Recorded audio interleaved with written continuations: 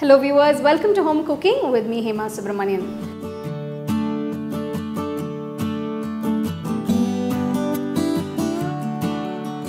Today's recipe is a very simple and delicious sweet rice. Uh, well, it's a very uh, unique rice that I'm going to try for the first time. This is Zarda sweet rice. Let's get started and check out the ingredients.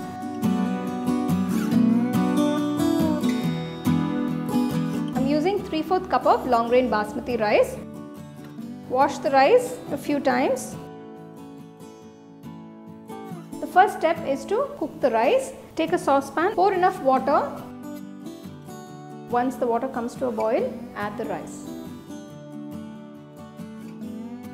I'm going to add a pinch of the orange food coloring. Next add 3 cardamom pods.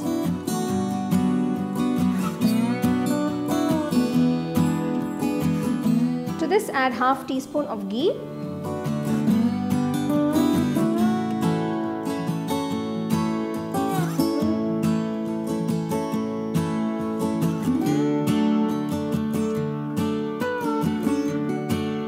Cook the rice till it's 3 4 done.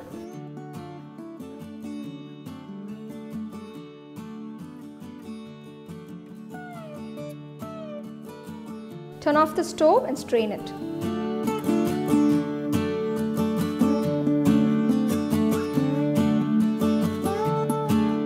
Take a white saucepan, add a little ghee. I'm going to roast some cashews, raisins and walnuts.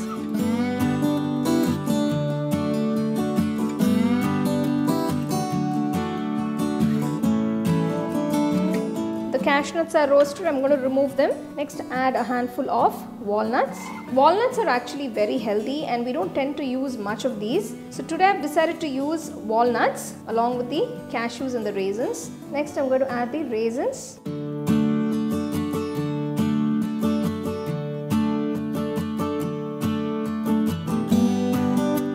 Raisins have plumped up, remove them.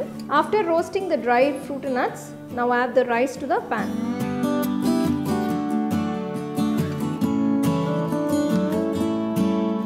Add 2 teaspoons of ghee on top. Now I'm going to add 1 cup of sugar. Add the nuts.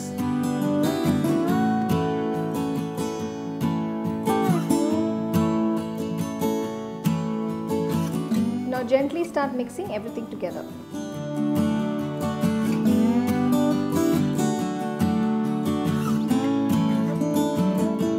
Close and cook for about 10 minutes on low flame.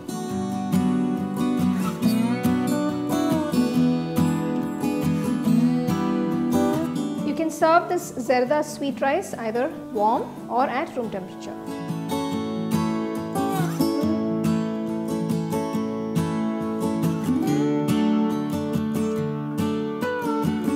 There you go, you can see how simple this Zarda sweet rice is. I've made this with basmati rice. You can also use any other long grain rice of your choice.